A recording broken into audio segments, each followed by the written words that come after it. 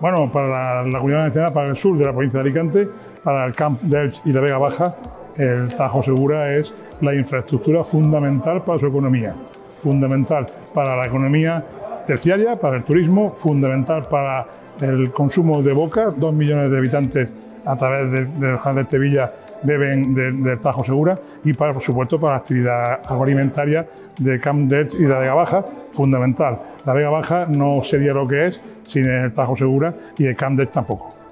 Bueno, el gobierno valenciano, el actual gobierno valenciano y futuro gobierno valenciano tiene claro que la, generación de recursos y de recursos agua para los distintos usos no es único, el agua viene de la lluvia, va, por superficie y, en, acuíferos, pero hay que generar recursos y no es único, y que todas las posibilidades de generar recursos, incluidos los tres bases, para nosotros son fuentes de recursos. Por lo tanto, no tenemos ninguna, ninguna especial inquina por ningún sistema de, generar recursos. Necesitamos recursos, tenemos un déficit estructural permanente en el sur de Alicante y algunas zonas también de, la comunidad, y tenemos que, que conseguir generar recursos para abastecer ese déficit estructural y por tanto mm, los trasvases son para nosotros una fuente más de recursos cuando sean posibles. Lo que no tiene sentido es empeñarse en trasvases imposibles, porque eso lo que genera es frustración, genera problemas, genera distorsión y además no es, nuestra posición.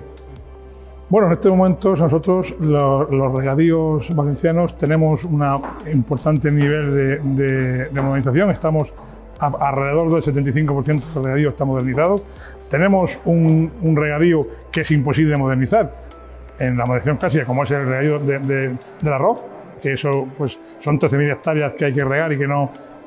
son susceptibles de, incluir tecnologías de modernización eh, al uso, pero en general tenemos eh, unos buenos sistemas de, de regadío modernizados y ahora nuestro reto en el regadío eh, es más, que, que, transformar de regadío a manta a regadío localizado, nuestro reto es incrementar la eficiencia la eficiencia en el uso del agua y sobre todo la eficiencia eh, energética. Es nuestro objetivo. Por tanto, en los próximos años eh, tenemos eh, elaborado ya una estrategia valenciana de regadíos que vamos a, desarrollar a partir del año que viene y ya este año vamos a empezar. Y esa estrategia está basada fundamentalmente en la eficiencia energética, en la eficiencia del uso del agua y en la consolidación de, de los regadíos y su modernización. Bueno, la agricultura en la comunidad valenciana, el sector agroalimentario en su conjunto, representa eh, entre el 15 y el 16% del PIB valenciano, representa el 13% del empleo y el 25, 24, 25% de la exportación.